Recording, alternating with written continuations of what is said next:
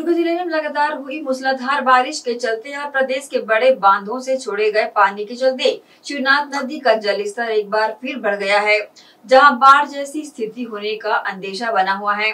दुर्ग ज़िले में लगातार हो रही बारिश के चलते एक बार फिर दुर्ग के शिवनाथ नदी का जल स्तर अपने शबाब पर है, जिसके चलते शिवनाथ नदी ज़ोर शोर से बह रही है।